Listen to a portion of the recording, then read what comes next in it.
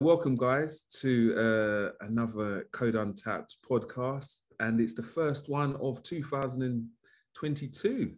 So, hi, Ez. Hey, Jay. Yeah, really good. First one, off to a banging start. So, hopefully, it's going to be quite the year. Quite the year.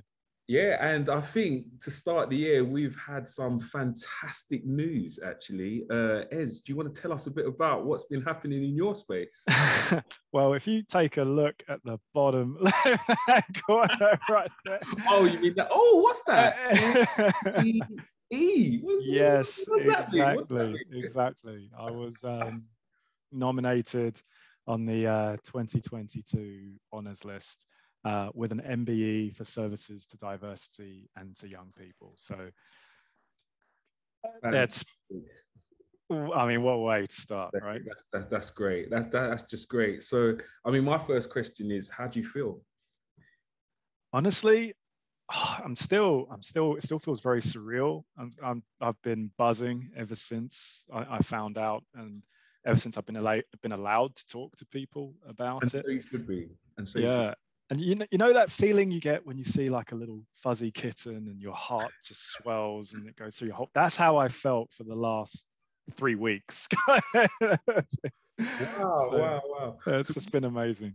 So were you allowed to actually tell anybody then? So no, so you know, I, fa- I found out the beginning of uh, December because mm. the way it works is you get nominated unbeknownst to you and the whole process takes like a year and a half to two years to hmm. actually work through so whoever nominated me it would have been a year and a half ago at least when mm. i was nominated um, but what that what happens is if if you are if you are successful you get give you get sent a letter now mm-hmm. i've moved address in the last nine months so i hadn't received any letter i just get this phone call um, I've got a missed call on my phone. I've been in the gym that morning. I was like, oh, what's this? Normally, I don't really respond to, to missed phone calls because I get quite a few of them. But I felt, you know, I was on my way into London that day. I ought to take a moment to answer this. I was walking down the street. I, I dial the number and I, I, can't really hear the voice in the background. And they, they mention, uh, yes, this is home office or head office. I'm like, head office. Um, I, don't really understand. You know, sorry, could you repeat that? And I heard, yeah, or I heard in the end, I heard cabinet office, and I thought, oh, what have I done? and uh, they they said, no, no, uh, we're just trying, we're, we're calling to confirm uh, your intentions regarding the letter we've sent you. And now I'm really panicking. I'm like, what letter? What have I done? Have I not paid my taxes or something like that? Um, and they said, no, no, no. Um, okay. And I said, look, uh, if you have sent me a letter, I've moved address in the last nine months. I had a redirect on, but it's ended. So if you sent me that a letter to that old address, which was, and I said what it was. Mm. Recently, I won't have got the letter. said, mm. no, you're absolutely right. That's the address we have. Well, look, uh, we're writing about your nominee, your nomination for an MBE in the 2022 honors list. We'd like to know if you'd like to accept because mm. the deadline is tomorrow. and I, I, was like, uh, yes, I, would like to accept that. Absolutely, 100%. And you know, it's amazing because literally the deadline to accept was the day after. And if I hadn't responded to that missed phone call, uh, that would have been the worst, worst missed phone call I've ever had. I can oh. honestly say. So, I accepted and then um, they sent me an email with all the details and you have to fill in a form and just give mm. a bit more information about yourself and then you're under strict embargo until 10:30 p.m. Uh, December the 31st. You are not allowed to talk to anyone about it except for your company press officer. That's it, because it can always be withdrawn. Wow. Right? It can always be withdrawn and they they publish it through the Gazette, which is the official publication, and mm-hmm. through certain news outlets. And so you're not allowed to preempt that in any way, mm-hmm. other than to set up potential interviews or news stories. Mm-hmm. But they can only happen after the publication on the first of January. So yeah, so that that was the whole thing. So hold on a minute. So three weeks before New Year's, yeah, yeah you sorry. You've been told this information. How did you manage to keep cool in all of this? Because you're walking around with this information in your head, knowing this stuff. And, you know, because I didn't know. You didn't tell me, so. no, no, I couldn't. I, I, honestly, how did you manage to, to just keep that under the under wraps? It, it was brutal. It was horrible. Genuinely, genuinely, it was it was so tough because you have all these Christmas celebrations happening. Yeah. You're seeing everybody. I had my whole family, including my girlfriend's family, at mm-hmm. mine for Christmas Day. Couldn't tell anybody. Couldn't tell anyone about it until till um, uh, December 31st.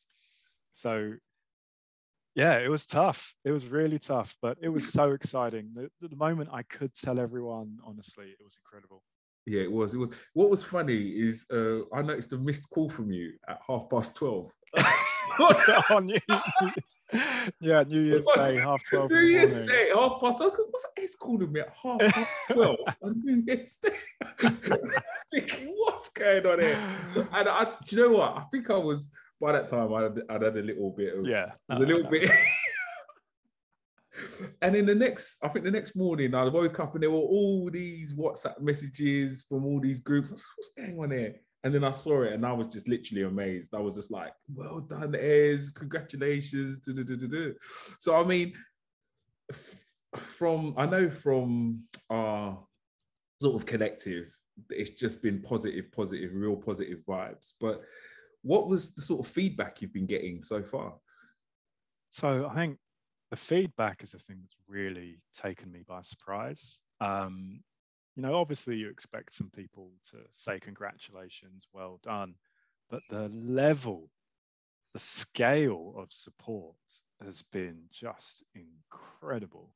The number of people sending me messages, emails, phone calls. Um, you know, I've had people I haven't spoken to for a long time, and in some cases, fairly challenging circumstances. Mm. Um, you know, one of the investors from an old company of mine reached out and congratulated me both on LinkedIn and by WhatsApp. You know, I've had emails from all sorts of people. So that it's just been kind of overwhelming. But then on top of that, it's not it's just it's not just been the congrats, it's been the level of feeling as mm. well. Mm. And just how, you know, how important this has been to other people. This has been important to me for a whole host of reasons. But I literally had a really good friend, Andrew Brown. Um, you know, he's a member of our yeah. collective. Uh, call me on Saturday morning, you know, New Year's Day at 10. I'm still in bed, 10 o'clock. My phone's ringing. It's Andrew. So I answer, and he's practically in tears, mm. right? Just so over the moon and just saying to me, look, bruv, you don't understand. You're a man, you're a black man from Lewisham. It's really important. People yeah. like us don't get these types of awards, yeah. right? And you know that really opened my eyes to just what stunned me was how important my award mm-hmm. was to other people.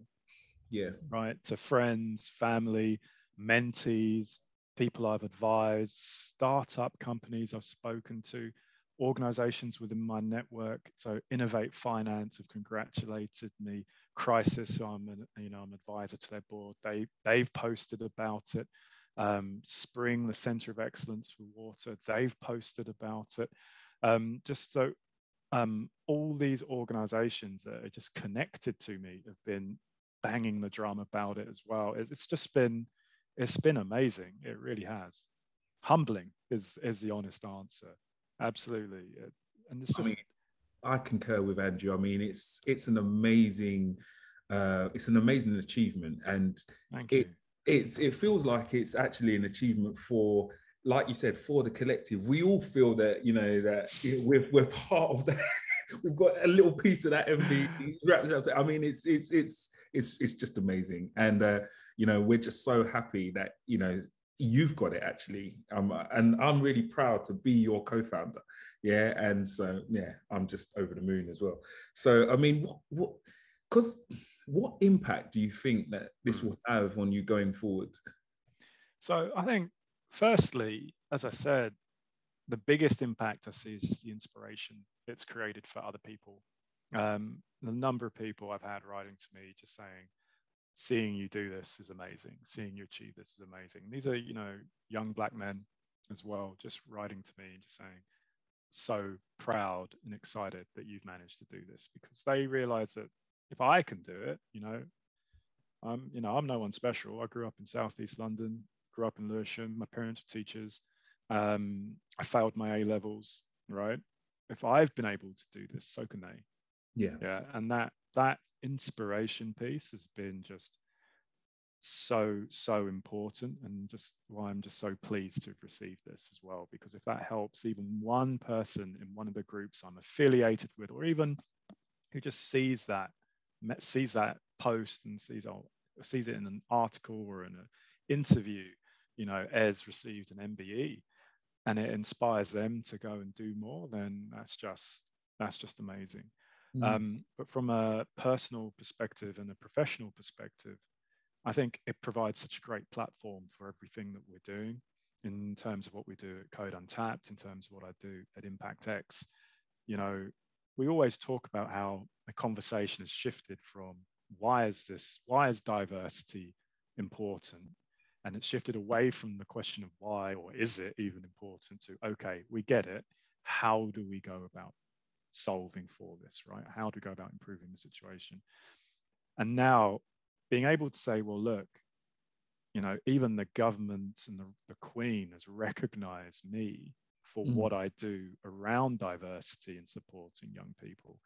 You know, there there is no more a question, no, no longer any question that this is an important area to yeah, be working on. Exactly. Right? There is there is no question. Mm, mm, mm, that level of validation is absolutely crucial, and it lends a significant amount of weight to my voice now when I speak mm-hmm. to people and say, look, this is what we're doing, this is where we're going, these are the people. And they see that MBE title and they see that recognition, they go, okay, no, we need to listen to this person. Right. People listen to me before anyway, but it's just that little bit of extra extra impact that you now have.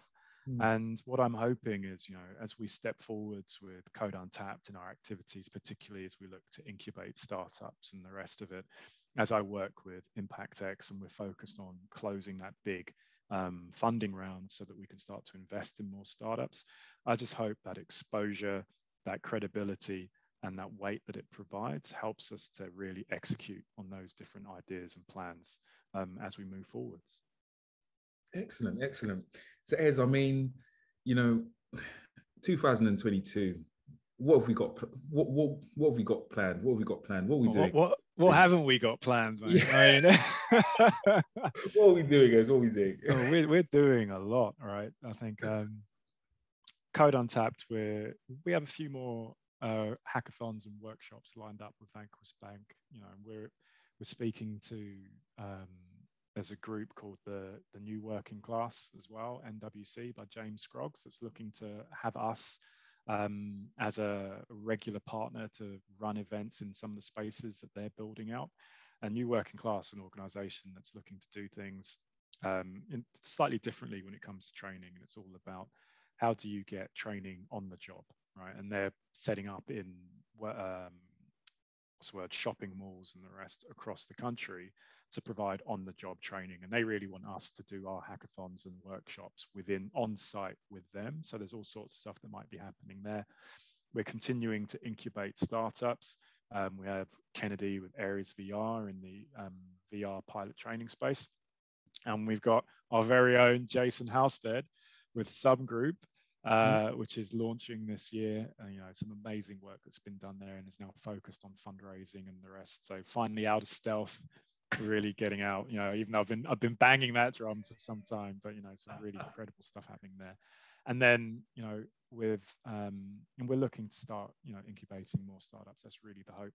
And then with ImpactX, we're super close to to closing our first major fundraising round, and we'll be uh, investing more and more over the course of this year and potentially, you know, we've got both the investment arm, we've got the incubation arm in Code Untapped. So we'll see some really great things happening and you know, we continue to bang the drum for diversity and technology, uh, helping those within our network to get more exposure.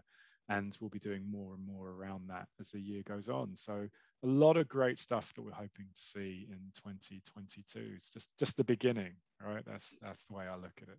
So I mean, I'm really excited. I'm really infused about where where we're going, what we're doing in 2022, and So I think I'm going to leave it there today, actually, because um, it's it's such a such a great high. Yeah. So let's just continue. Yeah. So I'd just like to say, guys, uh, keep listening. So the next one will be in two weeks, and uh, we'll speak soon. Thanks a lot. Have a great 2022.